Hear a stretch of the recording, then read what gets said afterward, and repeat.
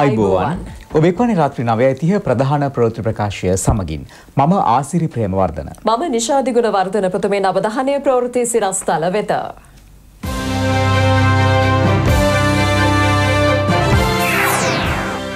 එක්සත් ජාතික පෙරමුණේ නායකින් හා අගමැති අතර සාකච්ඡා. අතුරුදන්නුවන්ගේ පවුල්වලට රුපියල් හයිදහස්සක දීමනාවක් සඳහා කැබිනට් අනුමැතිය. ලබන ජනවාරයේ සිට වීමිල ඉහලට.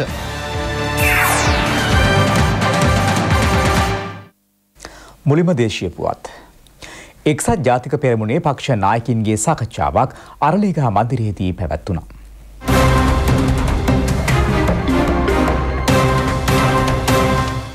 ජනාධිපතිවරණයට තරඟ කරන ආකාරය හා ඉදිරියේදී ගොඩනගන පුළුල් සඳහනය පිළිබඳ මෙහිදී සාකච්ඡා වී ඇති බවයි වාර්තා වන්නේ. අග්‍රාමාත්‍ය රනිල් වික්‍රමසිංහ මහතාගේ ප්‍රධානත්වයෙන් පැවති මෙම සාකච්ඡාවට දේශපාලන නියෝජිතයන් රැසක් සහභාගි වුණා. විශේෂයෙන්ම ඉදිරි ජනාධිපතිවරණය පිළිබඳව ඒම ජනාධිපතිවරණය දිනන්න ගතයුතු ක්‍රියාමාර්ගය වගේම නව සන්ධානය දැන් මේ වෙනකොට සියලු කටයුතු අවසන් කරලා තියෙනවා. නව සන්ධානයෙන් තමයි අපි තරගවදින්න තීරණය කරලා තියෙන්නේ. ඔව් අද අවසන් තීරණයට ආවද පක්ෂයේ අපේක්ෂකයා කවුද කියන පක්ෂයේ අපේක්ෂකයා පිළිබඳව අපි එන සතියේ තීරණය කරන්න නියමිතව තිබෙනවා. විශේෂයෙන් අපි එන සතියේ බදාදා වෙනකොට මේ සියල්ල අපි අවසන් කරන්න බලාපොරොත්තු. අපි තමයි ඊළඟ ජනාධිපති වෙන ජයග්‍රහණය කරන්නේ. නියත වශයෙන්ම අපි ජයග්‍රහණය අපි කිසිම කෙනෙක් කැඩෙන්නේ නැතුව, විඳෙන්නේ නැතුව සියලුම දෙනා එකතු එකමුතු කරගෙන එකතු කරගෙන ඊළඟ ජනාධිපති වෙන ජයග්‍රහණය මේ අතර සිවිල් සංවිධාන ක්‍රියාකාරීන් හා ග්‍රාමාත්‍ය රනිල් වික්‍රමසිංහ මහතා අතර හමුවක්ද පැවැත්වුණා. මේ පුද්ගලයෙක් පිළිබඳව ඉලක්ක කරගෙන නෙමෙයි මේ යෝජනා කරන්නේ. අපි ඉදිරිපත් කරන කාරණා සාධනීය විදිහට ඉස්සරහට අරගෙන යන්න පුළුවන්. ඒ වගේම දැනට පෙරමුණේ ඉන්න සියලුම පක්ෂ එකට තියාගෙන වැඩ කරන්න පුළුවන් අදහසක් තුල අපේක්ෂකයෙක් ගේන්න තමයි අපි උත්සාහ ගන්නේ. යහපාලන අදහස ඉදිරිපත් ඉස්සරහට අරගෙන යන්න සංශෝධන යෝජනාවලියක්ම හැදුවා. ඒ යෝජනාවලිය අපි කෙටුම්පතක් බාර දීලා තියෙනවා. ඒකේ අවසාන යෝජනාවලිය අපි ලබන සතියේ මැදදී එක්සත් ජාතික පෙරමුණේ පක්ෂවලට බාර දෙන්න අදහස් කරගෙන ඉන්නවා.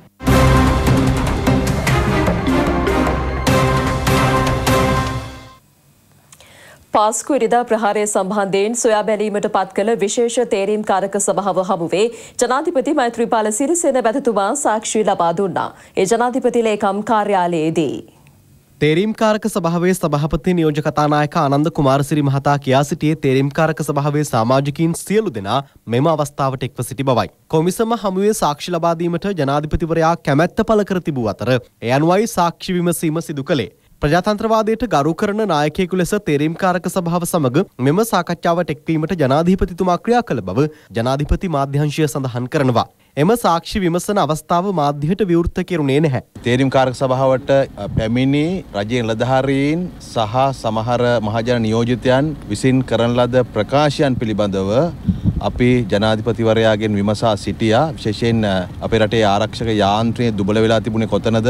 ආරක්ෂක කවුන්සිලේ දිගින් දිගටම කැඳවුන්නේ නැත්තේ ඇයි? ඒ සඳහා අදාළ කරන පුද්ගලයන් කැඳවල නොතිබුණේ ඇයි වැනි කරුණු පිළිබඳව අපි ජනාධිපතිවරයාගෙන් විමසා සිටියා. එතුමා කියපු දේවල් ඇතුළත් කරපු දේවල් අපි වාර්තාවට ඇතුළත් කරනවා. කියලා වගේම ජනාධිපතිවරයා විසින් මලල්ගොඩ කමිටුවේ වාර්තාව තේරින්කාරක සභාවට ලබා දුන්නා. ඒ වාර්තාවත් අධ්‍යයනය කරලා ඒ වාර්තාවේ තිබෙන නිර්දේශ සහ නිරීක්ෂණයනුත් අපේ වාර්තාවට ඇතුළත් කරන්න අපි බලාපොරොත්තු වෙනවා. අදින් අපි සාක්ෂි විමසීම් කටයුතු අවසන් කරනවා. දැන් අපිට පුළුවන් අවසන් වාර්තාව සකස් කරලා පාර්ලිමේන්තුවට තව සති දෙකක් හෝ තුනක් ඇතුළත ඉදිරිපත් කරන්නට. ඊයේ දිනේ බොහෝ දෙනාගේ කතාබහට ලක් වූ කැබිනට් රැස්වීම ජනපතිගේ ඉල්ලීම මත පැවැත්වුවක් බව මීරිගමදී අද පැවති උත්සවයකට එක්වෙමින් අග්‍රාමාත්‍ය රනිල් වික්‍රමසිංහ මහතා ප්‍රකාශ කළා.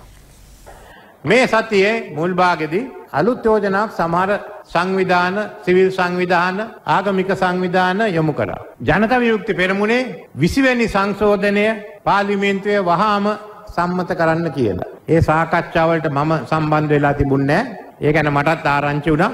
ඊයේ ජනාධිපතිතුමා මට කතා කළ ඇහුවා දැන් මේ ගැන කැබිනට් මණ්ඩලය කතා කරමුද අපේ පක්ෂ අතර මේවා ගැන සාකච්ඡා කරලා නොතිබුණ නිසා අපේ පක්ෂ ඇතුළෙත් කරපු නිසා මම කිව්වා හොඳයි මෙතන කතා කරන්න පුළුවන් කියලා. එතුමා දවල්ට කැබිනට් මණ්ඩලයක් ඇඳෙව්වා. ඊට ඉස්සෙල්ලා මම අපේ ඇමති මණ්ඩලයක් ඇඳෙව්වා. එතන විවිධ අදහස් තිබුණා. උණුසුම් තත්ත්වයකුත් මම ජනාධිපතිතුමාට කිව්වා විවිධ අදහස් තියෙනවා කියලා එකගත්වයක් තියෙනවාද කියලා මම දන්නේ නැහැ කියලා. ඒත් මෙතෙන්ට ආවැද්දී අපි එකඟ වුණා අන්තිමට ඒ ඒ පක්ෂ මේ ගැන තීරණය කරන්න කියලා. ඒත් එදත් මම කිව්වේ ඊයේත් කිව්වේ මේක යථාර්ථය පොහොට්ටුවේ ඡන්ද නැතුව ව්‍යවස්ථා සංශෝධනයක් අනුමත කරගන්න බෑ. අපිට 150ක් නෑ. එහෙනම් මේ ගැන සාකච්ඡා කරත් ඒක පාර්ලිමේන්තුවේ ඉදිරිපත් කරලා සම්මත කරන්න පුළුවන් පොහොට්ටුවේ ඡන්ද තියනවා නම් පමණයි කියලා. අන්න ඒ තමයි අපි කරපු සාකච්ඡා. ඒ නිසා දැන් ආපහු මේ ප්‍රශ්නේ පැන නැගිලා තියෙනවා. අද විවිධ සංවිධානවල නියෝජිතයන් ඇහුවා ඇයි මේ වෙනස් කරාද මොකක්ද මේ කරන්නේ ඒ වගේ බොහෝ දෙනෙක් දැන් දොස් කිව්වා. ඊ එක කොටසක් දොස් කියනවා අද තව කොටසක් දොස් කියනවා. එහෙන් තමයි මේ මේ කියන්නේ කොහොම හරි මේක විවුර්තව කතා කරන එක රටේ යුතුයකමක්. ඡන්දයක් එක්ක ඒක අපිට නවත්තන්න බෑ. ඒක කර යුතුයි. මම අපේ සිවිල් සංවිධානයේ අයටත් මාව හම්බෙන්න කියලා කිව්වා. හැම පක්ෂයටම මේ ගැන තීරණයක් ගන්න වෙයි. අපි කාටවත් මේ ප්‍රශ්නෙන් හැංගෙන්න බෑ. ඒත් අපි ප්‍රජාතන්ත්‍රවාදී සමාජයක්. ඒ නිසා මේවා අපි විවෘතව කතා කරන්න ඕනේ. විවෘතව කතා කරලා විවිධ පක්ෂවල අදහස් දැනගෙන ජනතාව තමයි අන්තිම තීරණය අරගන්නේ.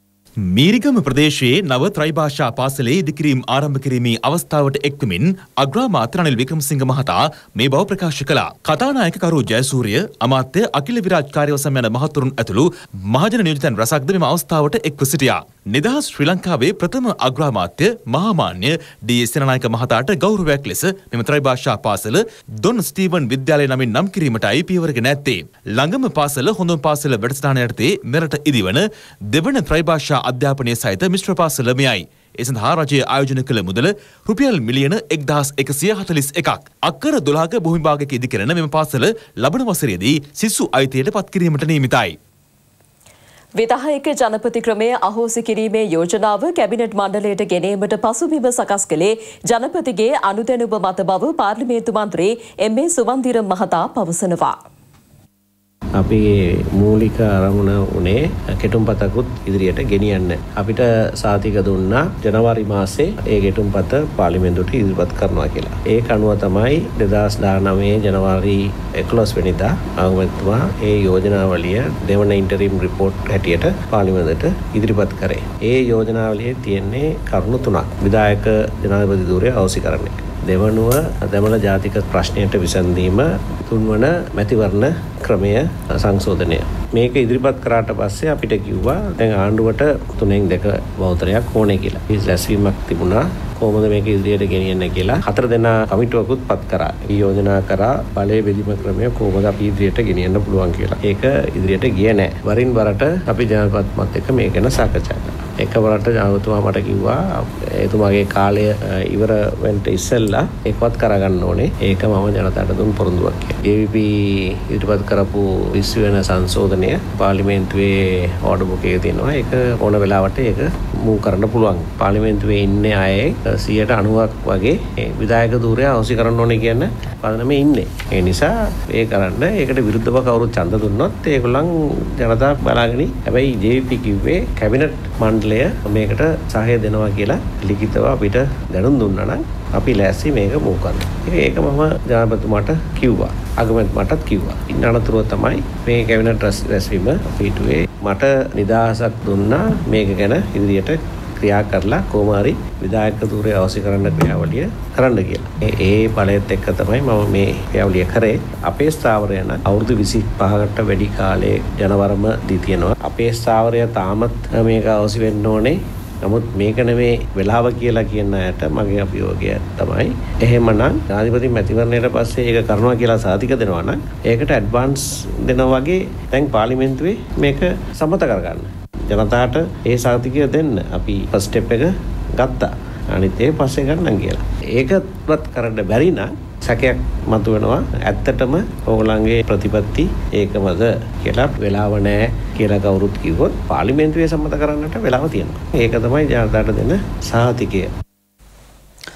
පාස්කු ඉරිදා ප්‍රහාරය සම්බන්ධයෙන් සොයා බලන පාර්ලිමේන්තු විශේෂ තේරීම්කාරක සභාවේ නියෝජිතීන් ජනාධිපති මෛත්‍රීපාල සිරිසෙන මැතිතුමාගෙන් කරුණු විමසීම සඳහා ජනාධිපතිතුමා හමුවට යාම පිළිබඳ අද පැවති මාධ්‍ය හමුවකදී පාර්ලිමේන්තු මන්ත්‍රී කාවින්ද ජයවර්ධන මහතා කරුණු පැහැදිලි කළා.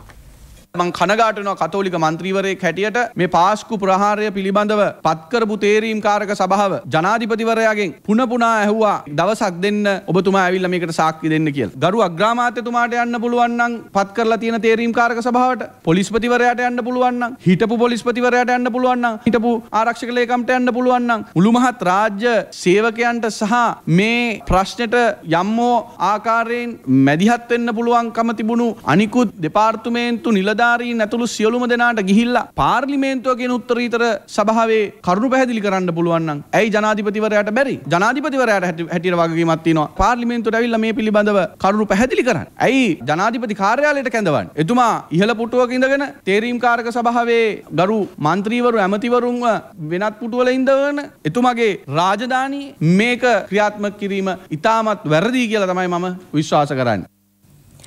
ශ්‍රී ලංකා පොදුජන පෙරමුණේ ජනාධිපති ධූර අපේක්ෂක ගෝඨාභය රාජපක්ෂ මහතා වෙනුවෙන් එම පෙරමුණේ ලේකම් නීතිඥ සාගර කාර්යවසම් මහතා මැතිවරණ කොමිෂන් සභාව වෙත පැමිණ අද ඇප මුදල් තැන්පත් කළා. පාර්ලිමේන්තු මන්ත්‍රීවරුන් කිහිප දෙනෙකුද එම අවස්ථාවට එක්ව සිටියා. දුම්රිය සේවකයින් ඊයේ මධ්‍යම රාත්‍රියේ සිට අකුරට වැඩකිරීමේ වෘත්තීය ක්‍රියාමාර්ගයක් ආරම්භ කළා. වේග සීමා ඇතුළු දුම්රිය වෘත්තීය ගැටලු මුල් කරගනිමිනුයි මෙම ක්‍රියාමාර්ගය ගෙන තිබෙන්නේ. දුම්රිය මගින්ගේ පහසුව සඳහා ප්‍රවේශපත්‍ර නොමැතිව දුම්රියෙන් ගමන් කිරීමේ අවස්ථාවද සලසා දී තිබෙනවා. සමස්ත සංඥා පද්ධතියේ ඇතිව තිබෙන දෝෂයක් හේතුවෙන් බොහෝ දුම්රිය ගමන් වාරවලට බාධා එල්ල වූ බවයි දුම්රිය පාලන අධිකාරිය සඳහන් කළේ. මුහුදුබඩ දුම්රිය මාර්ගයේ කොළඹ කොටුව දෙසට දහවනය වූ දුම්රිය මහලේකම් කාර්යාල දුම්රිය ස්ථානය දක්වා පමණක් දහවනය කෙරුණා. වෘත්තීය ක්‍රියාමාර්ගයේ හේතුවෙන් මගින් දැඩි අපහසුතාවට පත් වුණා.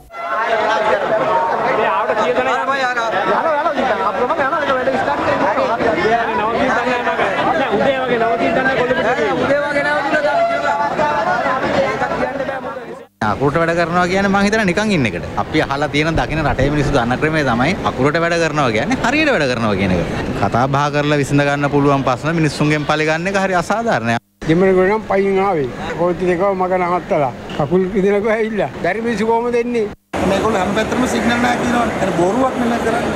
කිසිම ඉල්ලීමක් දෙන්න අර. මොනවා කියන්න දන්නේ මේගොල්ලන් මේ මිනිස්සු අතර මං කරන්න ඉඳගෙන සම්පාට යන්න කළුතර ඉඳලා ආවේ මහලේකම් කාර්යාලයේ කෝච්චිය නවත්තගෙන ඉන්න ඊට පස්සේ අපි බැහැලා පයින් මේ පැත්තෙන් ආව මෙතනට මේගොල්ලෝ නිකන් ඉඳගෙන පඩි කකා මිනිස්සුන් ඇයි මේ විදියට අතරමං කරන්නේ උන්ට අනුකම්පාව කියන එක ඇත්තම නැද්ද කොහෙදයි මේ මුස්ලිම් අදාර නෑ සෑනම් දේර අයිගාන ඉවර ඒක උපාධාරින්න එලි මිනිස්සු ඉන්නවා නේද? එයාට ජොබ් එක දීලා හරි ගෙදර යන ඉවරයි. වෙන මොකක්ද අයිතිවාසිකම් කරන්නේ නේද? අපි දුක්ඛ රටක් නේ නේද? හැමදාම මෙයාලා ස්ට්‍රයික් කරනවානේ. මිනිස්සු ගැනත් පොඩ්ඩක් හිතන්න ඕනේ ඉතින්. එක්ක කලින් කියන්න ඕනේ එක එකට ඕන විදිහට ස්ට්‍රයික් කරන්නයි රට කොහේ නවත්ත ගන්නද දන්න හිතන් ඉන්නේ මේගොල්ලෝ. මේ අතර ජනාධිපතිවරණය ඉලක්ක කරගනිමින් වෘත්තීය සමිති ක්‍රියාමාර්ග උද්ඝෝෂණ සහ විරෝධතා රැසක් සංවිධානය කෙරෙන බව රාජ්‍ය බුද්ධ්‍යංශය රජයට දැනුම් දී තිබෙනවා.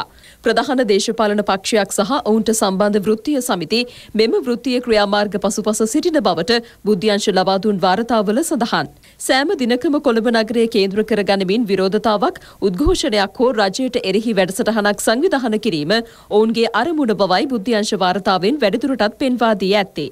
උද්ඝෝෂණ විරෝධතා මෙන්ම වැඩවර්ජන මෙහෙවන වෘත්තීය සමිති නායකයින්ට සහ ප්‍රධානීන්ට එම දේශපාලන පක්ෂ මගින් විශාල වශයෙන් මුදල් ලබා දෙන බවත් එම නායකයින්ගේ පෞද්ගලික ගිණුම්වලට මෙම මුදල් විශාල වශයෙන් බැර කිරෙන බවද රජයට ලබා දුන් බුද්ධ්‍යංශ වාර්තාවල සඳහන්.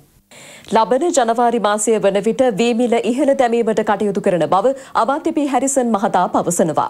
මල්වතු අස්කිරි මහනා හිමිවරුන් බැහැදැකීමේ අනතුරුවයි අමාත්‍යවරයා මේ බව කියා සිටියේ. අමාත්‍ය පී හැරිසන් මහතා අද මහනුවර ශ්‍රී දළදා මාලිගයට පැමිණ දළදා සමිඳුන් වැඳ පුදා ගත්තා. අනතුරුව මල්වතු අස්කිරි මහනා හිමිවරුන් බැහැදැක අමාත්‍යවරයා ලබන මස දෙවනදා ශ්‍රී දළදා මාලිගයේදී පැවැත්වෙන අලුත් සහල් මංගල්‍යය පිළිබඳවද මහනා හිමිවරුන් සමග සාකච්ඡා කළා. අනතුරුව මාධ්‍ය වෙත අදහස් දැක් වූ අමාත්‍යවරයා. අපි දන්නවා දීවල මිල වසර ගණනාවක් තිස්සේ වැඩි වුණේ නැහැ. ඒත් අපි බලාපොරොත්තු වෙලා හිටියේ මේ යල්කන්න ඉඳලා මේ මිලේ වැඩිවීමක් කරන්න. ඒත් මේ වෙනකොට අස්වැන්න හුඟක් නෙලලා ඉවරයි. ඒ වගේම අපි වැඩි කරන්න බලාපොරොත්තු වෙන මිලට වැඩිය වැඩි මිලකට ගොවීන් වී අලෙවි කරා. ඉතින් ඒක නිසා අපි කල්පනා කෙරුවා මේ වැ- මිල වැඩිවීම අපි එන මහකන්නේ වගාවට කලින්ම ගැසට් කරලා අපි ජනවාරි මාසයේ ඉඳලා ඒ මිල වැඩිවීම ක්‍රියාත්මක කරන්න තමයි අපි බලාපොරොත්තු වෙන්නේ. අතුරුදන් වූවන්ගේ පවුල්වලට රුපියල් හයදහසක මාසික අතුරු දීමනාවක් ලබාදීමට අමාත්‍ය මණ්ඩල අනුමැතිය හිමි වී තිබෙනවා. ත්‍රිවිධ හමුදාවේ හා පොලිසිය සේවයේදී සිටියදී අතුරුදන් වූවන්ගේ පවුල්වලටද මෙම දීවනාව ලබාගත හැකියි. දෙදහස් දහනවය අයවැයට මුදල්මාත්‍ය මංගල සමරවීර මහතා කළ යෝජනාවකටයි මෙසේ අනුමැතිය හිමිවුණේ. තම පවුලේ සාමාජිකයෙකු අතුරුදන් වූ බවට ප්‍රවාස සහතිකයක් ඉදිරිපත් කිරීමෙන් මෙම අතුරු සහනය ලබාගත හැකි. හානිපූර්ණ කාර්යාලය මගින් වන්දි හා වෙනත් ආකාරයේ හානිපූර්ණ ගෙවීම් ලබා දෙන තෙක් මෙම අතුරුදීමනාව ලබාගත හැකි වනවා. උතුරු හා දකුණු ප්‍රදේශවල අතුරුදන්නුවන්ගේ පවුල් හයිසිය පනස් හයකට ප්‍රවාස සහතික මේ වන විට නිකුත් කර තිබෙනවා. ඇල්පිටිය ප්‍රාදේශීය සභහා ඡන්ද විමසීම අත්හිටුවීමේ නියෝගයක් නිකුත් කරන ලෙස ඉල්ලා ගොනු කළ මූලික අයිතිවාසිකම් පෙත්සම ලබන විසි හතර වනදා සලකා බැලීමට ශ්‍රේෂ්ඨ අධිකරණය අද දින නියම කළා. ඒ සමග තවත් නඩු කිහිපයක තොරතුරු දැන්.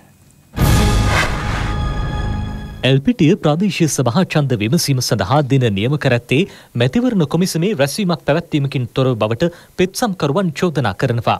දෙදහස් දාහත වසරේ කැඳ වූ නාම යෝජනා ලැයිස්තුව පදනම් කරගෙන මැතිවරණය පැවැත්වීම ව්‍යවස්ථා විරෝධී බවයි ඔවුන් තවදුරටත් පවසන්නේ.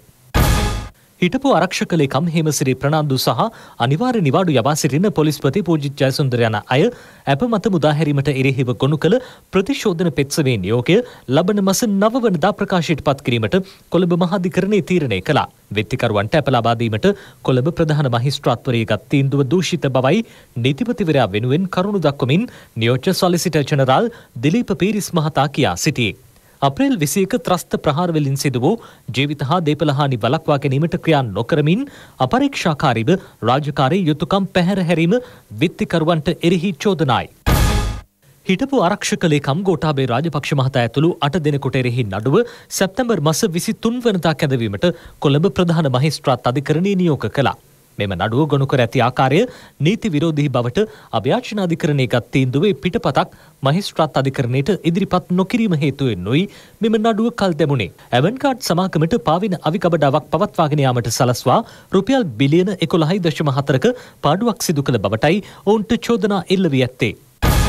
එක්සත් රාජධානයේ සිට මෙරටට ආනයනය කළ අපද්‍රව්‍ය හා කැලිකසල කන්ටේන රට තුළට රැකිනයාම හා ප්‍රවාහනය කිරීම වලක්වාලමින් අභ්‍යාචනාධිකරණය නිකුත් කළ අතුරු තහනම් නියෝගය තවදුරටත් දීර්ඝ කෙරුණා. ඒ ලබන මස 21 වෙනිදා දක්වායි. රස පරීක්ෂණ වාර්තාවද එදිනට ඉදිරිපත් කරන ලෙස නීතිපතිවරයාට නියෝග කෙරුණා. වත්තල ප්‍රදේශයේ රෙදිපිලි විලන්සැලක හටගත් ගින්නෙන් එම අලවිසැල සම්පූර්ණයෙන්ම විනාශයට පත් වුණා. මේ අතර මස්කලිය ප්‍රදේශයේ වතු නිවාස දහසයක්ද ගිනි ගැනීමකින් විනාශයට පත් වුණා.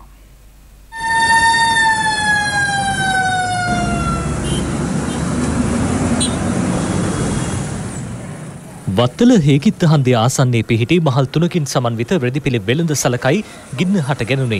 වහම ක්‍රියාත්මක වූ පොලිසිය වත්තල නගර සභාවේ ගිනි නිවීමේ රථ දෙකක් හා වැලිසර නාවික හමුදා කඳවුරේ ගිනි නිවීමේ රථයක් ඇඳවා ගින්න මැඩ පැවැත්වීමට කටයුතු කළා. වත්තල ප්‍රදේශය ඇති වූ මෙම ගින්න හේතුවෙන් කොළඹ මීගමුව මාර්ගයේ දැඩි රථවාහන තදබදයක්ද පැවතුණා. මේ අතර සිද්ධිය සම්බන්ධයෙන් මේ වන විට පරීක්ෂණ ක්‍රියාත්මකයි. බස්කෙලිය ස්ට්‍රොක්හෝම් වතුයායේ නිවාස පේලී ඇතිබූ ගින්නකින් නිවාස දහසයක් මුළුමනින්ම විනාශයට පත් වුණා. නිවාස විසියටකින් මෙම නිවාස පෙළිය සමන්විත වනවා. වතුකම්කරුවන්ගේ සහය ඇතිව ගින්න නිවාතමා තිබෙනවා. මෙම සිද්ධියෙන් පවුල් විසියටකට අයත් එකසිය පණහක පමණ පිරිසක් අවතැන්ව සිටිනවා.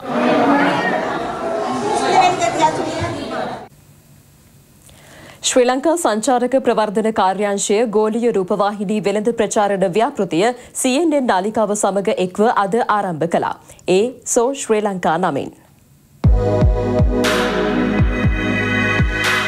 CNN නාලිකාව ඔස්සේ යුරෝපය මැදපෙරදිග අප්‍රිකාව ආසියා පැසිෆික් කලාපය හා දකුණු ආසියාව ආවරණය කරමින් අද සිට මාස තුනක කාලයක් මෙය ක්‍රියාත්මක වනවා. මෙහි ප්‍රධාන අරමුණ ශ්‍රී ලංකාවේ සංචාරක ස්ථාන පිළිබඳව ලෝපුරා සංචාරකින් දැනුවත් කිරීමයි. අමාත්‍ය ජෝන් අමරතුංග මහතා මෙහිදී කියා සිටියේ පාස්කු ප්‍රහාරෙන් පසුව ශ්‍රී ලංකාවේ සංචාරක කර්මාන්තය නගා සිටුවීමට රජය වැඩසටහන් රැසක් ක්‍රියාවට නැන්නූ බවයි. මෙරට සංචාරක කර්මාන්තය නගා සිටුවීමට මෙවැනි වැඩසටහනක් ක්‍රියාත්මක කිරීම අත්‍යවශ්‍ය බවද අමාත්‍යවරයා වැඩිදුරටත් පෙන්වා දුන්නා. මෙම ගෝලිය රූපවාහිනී වෙළඳ ප්‍රචාරණ ව්‍යාපාරය හරහා ශ්‍රී ලංකාව සංචාරය සඳහා වන අංක එකේ ගමනාන්තය ලෙස පැවති ජනප්‍රියත්වය යළි ලබා ගැනීමට හැකිවනු ඇති බවයි ශ්‍රී ලංකා සංචාරක ප්‍රවර්ධන කාර්යංශය සඳහන් කරන්නේ.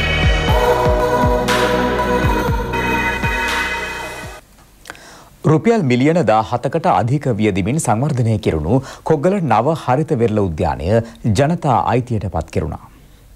වෙරළ සංරක්ෂණ හා වෙරළ සම්පත් කළමනාකරණ දෙපාර්තමේන්තුවේ අධ්‍යක්ෂ ජනරාල් ප්‍රභහත් චන්ද්‍රකීර්ති මහතාගේ ප්‍රධානත්වයෙනුයි මෙම උද්‍යානය ජනතා අයිතියට පත් කෙරුණේ. වෙරළ සංරක්ෂණ හා වෙරළ සම්පත් කළමනාකරණ දෙපාර්තමේන්තුවේ සංකල්පයකට අනුව උද්‍යානය ඉදිකර තිබෙනවා. කොග්ගල නව හරිත වෙරළ උද්‍යානය ශරීර සුවතා මන්තිරුවක් ළමා උද්‍යානයක් විවේකසුවය විදීමට පහසුකම් හා සියලු සනීපාරක්ෂක පහසුකම් වලින් සමන්විතයි. හබරදූ එක්සත් ජාතික පක්ෂ සංවිධායක නීතිඥ තාරක නානායක්කාර මහතා ඇතුළු මහජන නියෝජිතීන් පිරිසක් මෙම අවස්ථාවට එක්වුණා. වාණිජමය අරමුණු මූලික කරගත් සමාජයක් බිහිව ඇති බැවින් ගුණධර්ම පිරිහි ඇති බව කතානායක කරු ජයසූරිය මහතා පවසනවා. සමාජයේ විශාල පිරිහීමක් අද මේ ජාතින් ගෙලා තියෙනවා. ඒ වගේම විශාලයේ විශේෂයෙන් වශයෙන්ම සුරාව සූදුව ඒ වගේම කුඩු සංස්කෘතිය ඇති කිරීම තුළ අපි දකින අහිංසක ජීවිත විනාශ වෙන ආකාරය පවුල් පිටින් විනාශ වෙන ආකාරය අපි දකිනවා. ඉතින් මේව හදන්න වෙනස් කරන්න රජයේ ඉන්නවා පොලිසියේ ඉන්නවා. නමුත් මේ ඔක්කොට වඩා මෙයාගේ මනස හදන්න මේ හරි මගට යොමු කරන්න ඒ හැකියාවත් මහා සංඝරත්නය. මුදල් වලටම යට වෙච්ච සමාජයක් අද ඇති වෙලා තියෙනවා. රට එකාතකින් ඉස්සරහට යනකොට අනිත් පැත්තෙන් අපිට ආපස්සට යන අවස්ථා තියෙනවා. කතානායකවරයා මේ බවසනහන් කළේ අක්තපත්‍ර පිරිනැමීමේ උත්සවයකට එක්වෙමින්. උඩරට අමරපුර මහානිකායේ අනුනායක දුරයට පත් පූජ්‍ය නියන්ගොඩ සමිද්ධි මංගල ස්වාමීන් වහන්සේ වෙත අක්තපත්‍ර පිරිනැමීම සිදු කෙරුණේ කතානායකවරයාගේ ප්‍රධානත්වයෙන්. උත්සවය මහනුවර දිසාලේකම් කාර්යාලයේදී පැවැත්වුණා. මහා සංඝයා වහන්සේ ඇතුළු විශාල පිරිසක් උත්සවයට එක්ව සිටියා. විශ්‍රාමික කිසිදු ජනාධිපතිවරයෙකු මහජන මුදලින් නඩත්තු නොකරන බව ජනා ජාතික ජනබැලවේගේ ජනාධිපති අපේක්ෂක අනුර කුමාර දිසානායක මහතා පවසනවා. රත්නපුර පැවති ජනහමුවකදී ඒ මහතා මේ බව කියා සිටියේ. බලයට පත් වූ වහාම ජනාධිපතිවරයාගේ වියදම සියට අනුවකින් කපාහරන බවයි ඔහු වැඩිදුරටත් කියා සිටියේ. සමහර අවුරුදුවල ජනාධිපතිවරයාගේ විදම කෝටි 1000 ඉක්මවන. කෝටි 1000කින් ජනාධිපතිවරයෙක් නඩත්තු කරන්නේ. ගමනක් යනකොට හෙලිකොප්ටර් දෙක තුනක යන්නේ. පාර යනකොට ඇම්බියුලන්ස් එකක් පිටිපස්සේ ගෙන ලෙඩෙද්ද? එනිසා මේ නාස්තිකාර වියදම් අඩු කරන්න ඕන. අපි ඔයගලන්ට එක සහතිකයක් දෙනවා. අපි එක සැරයක් මේ රටේ බලයක් පත් කරගමු. ජනාධිපතිවරයාගේ වියදම් 190කට වඩා වැඩි ප්‍රමාණයකින් කප්පාදු කරනවා. මා ගිය ජනාධිපතිවරයාගේ ප්‍රශ්නයක් ඇහුවා පාර්ලිමේන්තුවේ. ඒ ජනාධිපතිවරයාට හිටියා තමගේ කාර්ය මණ්ඩලය 1200. පඳුරකට ගහුවොත් ජනාධිපති සම්බන්ධ කරලේකම් පිළිම. මතකද? 60000ක වැටුපයි 30000ක තෙලුයි කැබ් රථයක දෙනවා රියදුරකෙක්. මහජනගේ ධනිය. ජනාධිපති සම්බන්ධ කරලේකම් වැලිතොට පොල කරනවා. නේ හොරෙන් පතලක් කරනවා. ඒ නිසා මේ කාර්ය මණ්ඩල කප්පාද එච්චර ඕනේ නැහැ. ජනා මුණ ගැහෙන්නෙත් නැහැ. 1200ක් හම්බෙන්න අවුරුද්දක එක සැරයක් හම්බෙන්න හම්බෙන්නේ. බොරුව ජනතාව නාස්. මේ නාස්තිකාර වියදම් නතර කරන්න. ඒ වගේම අපි දන්නවා මාලිගා විශාල ප්‍රමාණයක් නඩත්තු කරනවා. දන්නවා ඇඹිලිපිටි උඩවල චන්ද්‍රිකා වැව ගාව අලුතෙන් මාලිගාවක් හදුවා ජනාධිපතිවරයා. යාපනයේ අලුතෙන් එකක් හදුවා කංකසන්තුරේ. නුවරඑළිය මාලිගාවක් තියෙනවා. අණ්ඩවපේ මාලිගාවක් තියෙනවා. නුවර මාලිගාවක් තියෙනවා. පාසිකුඩා එකක් හදන්න ගියා. මාලිගා හැමතැනම. සාමාන්‍ය යාපනයට ගිහින් යන්න හෙලිකොප්ටරේ යන්න විනාඩි 45යි. එන්න 45යි පැය එකමාරයි. මීටින් එක පැය තුනක් තිබ්බොත් පැය හතරමාරයි. පැය හතරමාරට යාපනයේ මාලිගාවක් වුණා. සමහර රාත්‍රිවල සමහර අවුරුද්දක රාත්‍රී දෙකක් ඉඳලා නැහැ මේ ජනාධිපති මාලිගාවල. හැබැයි කාර්ය මණ්ඩල 150ක් විතර හැමදාම නඩත්තු කරනවා. ගාඩ්න් එක සුද්ධ කරන්න ඕන, මුර කරන්න ඕන, උණු පිරියම් කරන්න ඕන. මහජනගේ ධනෙ. මේ ඔක්කොම මේ මධ්‍යස්ථාන රටේ ජනතාවගේ සංවර්ධන වැඩ කටයුතු යොදවන මධ්‍යස්ථාන බවට පත් කරනකොට අපි සාහතික කරනවා. ජනාධිපතිවරයාගේ වියදම් විතරක් නෙවෙයි හිටපු ජනාධිපතිවරු කොච්චර වියදම් දරනවද? ප්‍රේමදාස මහත්මයාගේ බිරිඳ හේමා ප්‍රේමදාස තාම ඉන්නේ ආණ්ඩුවේ ගෙදරක වාහන ආණ්ඩුවෙන් ආරක්ෂාව ආණ්ඩුව. කලින් ඩී.බී. විජේතුන්ගේ දියණියට ඒ ආරක්ෂාව ආණ්ඩුවෙන් ගෙවල් දීලා තිබුණා. චන්ද්‍රිකා කුමාරතුංග මැතිණිය ඊළඟ හිටපු ජනාධිපතිනි. ඇයට ටොරින්ටන් වල ගෙයක් දීලා තිබෙනවා. ආරක්ෂාව දීලා තිබෙනවා. වාහන දීලා තිබෙනවා. ආණ්ඩුවේ විශාල මුදලක් වැය කරනවා ඇය නඩත්තු කරන්න. හිටපු ජනාධිපති මහින්ද රාජපක්ෂ මහත්මයා. එතුමාට විජේරාම්පාර විශාල නිවසක් පහුගිය දවස්වල ජනාධිපතිවරයා හිටපු නිවස. ඒක ඔහුට ලබා දී තිබෙනවා. ආරක්ෂාව ලබා දී තිබෙනවා. වාහන ලබා දෙනවා. මේ හිටපු ජනාධිපතිවරු නඩත්තු කොච්චර යනවා? එහෙම නඩත්තු කරන්න ඕන. අපි එකක් එනවා විශ්‍රාමික කිසිදු ජනාධිපතිවරයෙක් ජනතාවගේ වැය සීර්ෂයන් අරන් නඩත්තු කරන්නේ නැහැ. ආචාර්ය ශිරානි බණ්ඩාරනායක මහත්මියගේ උත්තරීතර දෝෂාභියෝගයේ ඇතුළාන්තය කෘතිය දොරට වැඩීම කොළඹදී සිදු වුණා. බණ්ඩාරනායක සම්මන්ත්‍රණ ශාලා පරිශ්‍රයේ පැවැත්වෙන ජාත්‍යන්තර පොත් ප්‍රදර්ශනයේ සරසවි පොත් කුටියේදී කෘතිය එළිදැක්වීම සිදු වුණා. සිංහල හා ඉංග්‍රීසි කෘති දෙක මෙසේ එළිදැක්වනු අතර එහි මුල් පිටපත් සරසවි සමූහ ව්‍යාපාරයේ සභාපති එච්.ඩී. ප්‍රේමසිරි මහතා වෙත පිළිගන්වනු ලැබුවා. පොත මූලිකම පදනම් වෙලා තියෙන්නේ 2013 දෝෂාභියෝගයකින් මම 43 වෙනි අගවිනිසුරු තරතුරෙන් නිරපා හැරීම පිළිබඳව. ඒ දෝෂාපියෝගයේ අභ්‍යන්තර කරුණු ඇතුළත් වෙලා තියෙනවා පොත් දෙකේම. ඕකේ ඇත්තටම අන්තර්ගතයේ තියෙන 2011 මම අගවිනිසුරු තනතුරට පත් වෙච්ච වෙලාවේ ඉඳලා 2013 ජනවාරි පෙබරවාරි මාසය දක්වා වෙනකම් විතරයි. ඊට පස්සේ තව තියෙනවා වෙනම කතාවක්. අපි ඒක පසු වෙලාවක බලමු. ඒ සමගින් රාත්‍රී ප්‍රවෘත්ති අවසන් වනවා. ඔබට සුබ රාත්‍රියක්. www.itnnews.lk